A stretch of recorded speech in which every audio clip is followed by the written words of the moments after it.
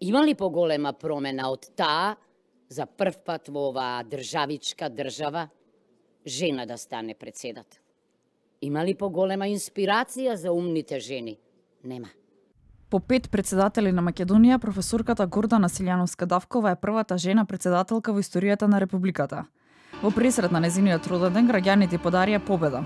Подарок кој со себе носи голема одговорност за важни државнички прашања. Председателот на собранието Јован Митрески ќе закаже седницата за инаугурација на ново избраната председателка Гордана Силјановска Давкова, откако ќе го доби извештајот од Државната изборна комисија за конечните резултати од вчерашниот втор круг председателски избори информираат од кабинетот на спикерот на парламентот. Најдоцна на 12 мај треба да биде свикана собраниска седница за инаугурација на новоизбраната председателка Гордана Селјановска Давкова.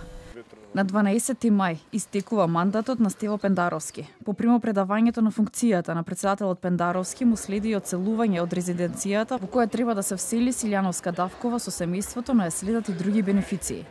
При преземањето на должноста, председателката треба да даде свечена изјава пред собранието со која се обврзува на почитување на уставот и законите. Но всушност, која е Силјановска Давкова? Родена на 11 мај 1953 година. Професорката за себе вели дека во детството била немирна, но педантно дете. Основното и средното образование го завршила во Скопје. Дипломирала на правниот факултет во Скопје, а потоа на истиот и магистрирала. Докторирала на правниот факултет пак во Лјубљана. Омиленото место на професорката Силјановска Давкова уште од детството е улица Македонија. Ако политиката е уметност на можното, заедницата е уметност на неможното, вреди да се обидете да бидете врвен уметник во овие области паралелно, ке рече професорката за која децата се најважното нешто во животот.